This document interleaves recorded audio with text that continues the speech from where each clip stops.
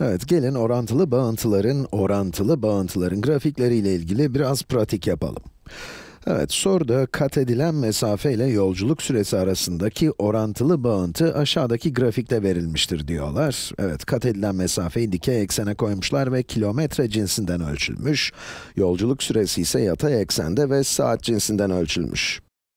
İşin matematiğine girmeden sadece görsel olarak bile bunun orantılı bir bağıntı olduğunu söyleyebiliriz. Nasıl mı? Öncelikle grafik 0'a 0 yani orijinden geçiyor. Yolculuk süresi 0 iken kat edilen mesafe de 0. Grafiğin bir doğrudan oluşması ise aradaki bağıntının doğrusal bir bağıntı, lineer olduğu anlamına geliyor. Ve orijinden geçen doğrusal bir bağıntı, orantılı bir bağıntıdır. Bunun orantılı bir bağıntı olduğunu grafikten bazı herhangi noktaları, herhangi istediğiniz noktaları seçerek de anlayabilirsiniz. Mesela anlaşılması kolay bir nokta olsun. Mesela A noktası. A noktasında yolculuk süresi 5 saat kat edilen mesafede 400 kilometre.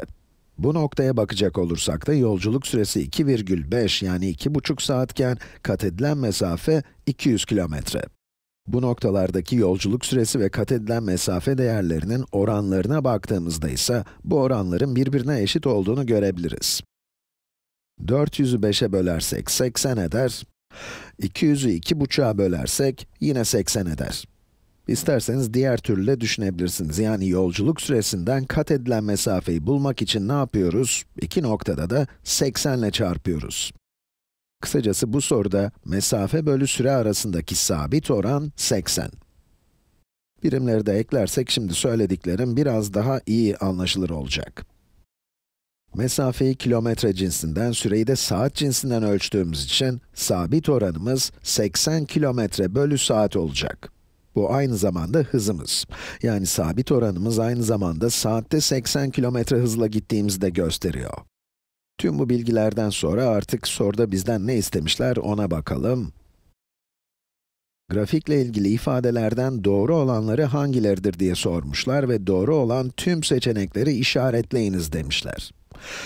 Birinci seçenek, A noktasının dikey koordinatı 4 saat sonra kat edilen mesafeyi göstermektedir, demiş. Dikey koordinat. A noktasının koordinatları 5'e 400.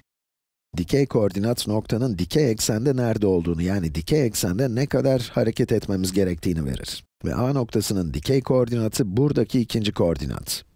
400 kilometre gitmişiz. Peki bu koordinat kaç saat sonra kat ettiğimiz mesafeyi gösteriyor? 5.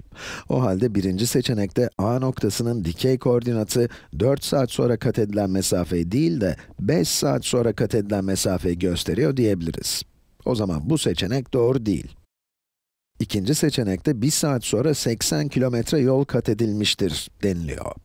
Şöyle göz kararı baktığımızda 1 saat sonra 75 kilometreden biraz daha fazla yol gitmiş olduğumuzu görebiliriz. O zaman 80 kilometre oldukça mantıklı duyuluyor. Ama bundan emin olmak için de burada yaptığımız hesaplamaya bakabiliriz. Buradaki mesafelerden birini alıp, herhangi birini alıp, mesela 400 kilometre bölü 5 saate bakarsak, oranın 80 kilometre bölü saat olduğunu görüyoruz. Bu hem görsel hem de matematiksel olarak orantılı bir bağıntı olduğu için de bu oranın grafik üzerindeki tüm noktalar için geçerli olması gerekir. Bunun için 1 saat sonra kat edilen mesafenin 80 kilometre olması mantıklı. Ne demiştik? Saatte 80 kilometre ile gidiyoruz. Öyle değil mi? O zaman bu seçenek doğru.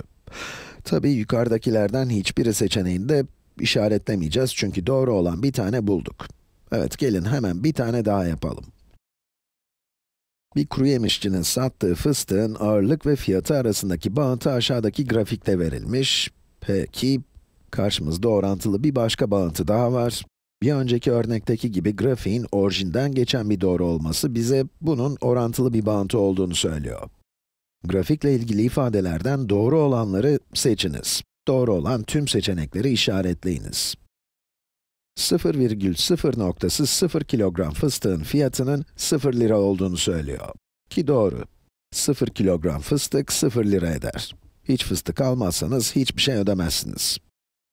İkinci seçenekte 2,60, 2'ye 60 noktası, yani buradaki nokta, 60 kilogram fıstığın fiyatının 2 lira olduğunu gösteriyor demişler.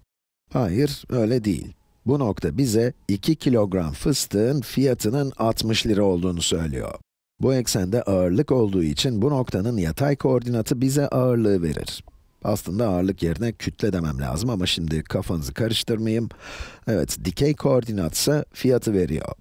Onun için bunun 60 kilogramı 2 lira yerine 2 kilogramı 60 lira demesi gerekirdi. Aslında tersini söylese çok da şahane olurdu değil mi? 2 liraya 60 kilo fıstık.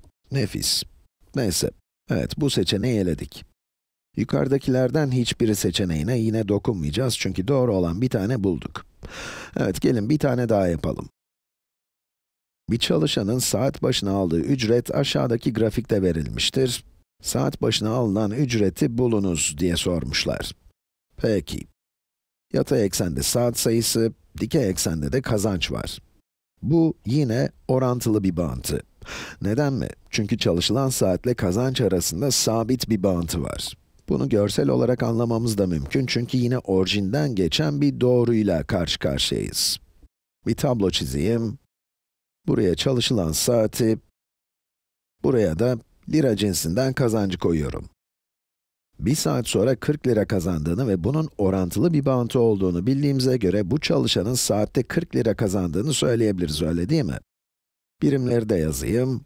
40 lira bölü 1 saat.